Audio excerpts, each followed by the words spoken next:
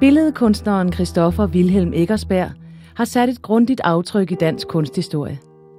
Eggersbergs kunst arbejder med guldalderperiodens idealer, men kiler sig ind mellem noget traditionelt og noget moderne, og man har i de senere år fået øjnene op for hans fortættede, manipulerede realisme.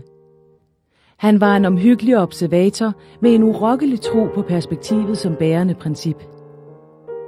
Eggersberg voksede op i Sønderjylland og havde som voksen nogle klare erindringer om betydningen af sine barndomsoplevelser.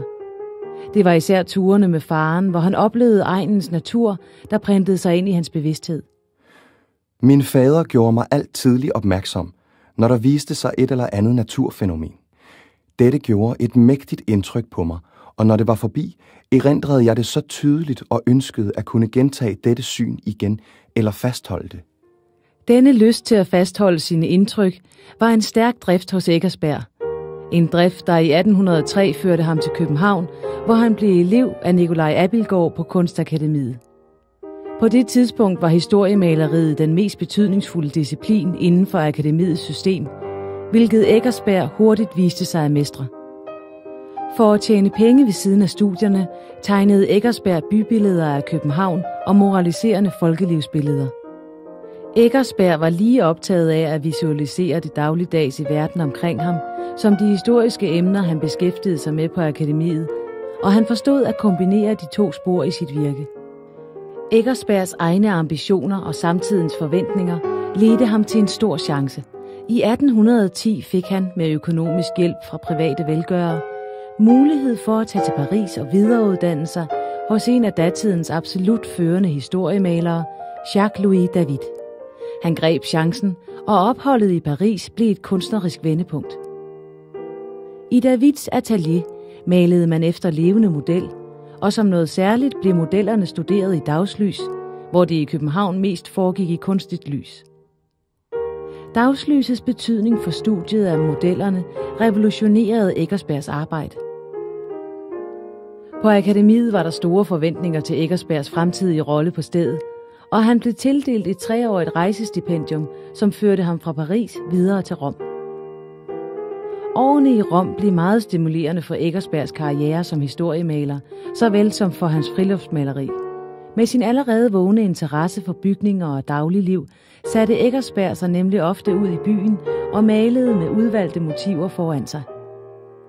Han var på det tidspunkt ikke klar over, at det skulle blive disse små malerier fra Rom, som han skulle vinde størst respekt for i eftertiden. I billederne fra Rom trak Eggersberg på sine evner og sin lyst til at indramme et visuelt markant udsnit af verden. Han beskrev selv meget præcist i en erindring fra barndommen, hvad netop denne evne og lyst gik ud på. Jeg skulle engang bringe noget, i blandt andet en sort flaske hen til en mand i byen. Det var om foråret, da alting begyndte at blive grønt. Tilfældigt blev jeg var, at egnen spejlede sig formindsket i flasken.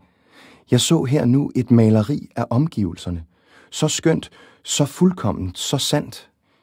Jeg benyttede siden ofte dette middel, lykkelig over denne opdagelse. Efter sin hjemkomst fra Rom flyttede Eggersberg med sin familie ind på Charlottenborg, hvor han var blevet udnævnt til professor på Kunstakademiets modelskole. På det tidspunkt brugte man udelukkende mandlige modeller til nøgenstudier – men Eggersberg fik indført kvindelige modeller på skolen. Et fremskridt i uddannelsen, der var med til at gøre hans lærergærning legendarisk for den periode, som populært kaldes guldalderen. De store forventninger til den hjemvendte kunstner blev til fulde indfriet. I sin tid som professor fik han bestillinger på portrætter og altertavler, og som højdepunkt i sin karriere fik han en stor bestillingsopgave fra kong Frederik den 6. på to maleriserier til Christiansborg Slot. Det blev dog Eggersbergs mere private malerier fra Rom, som virkelig kom til at danne skole. Hans elever bemærkede dem under undervisningen i hans lejlighed, og de blev optaget af den utrolige detaljegengivelse og de overbevisende kompositioner.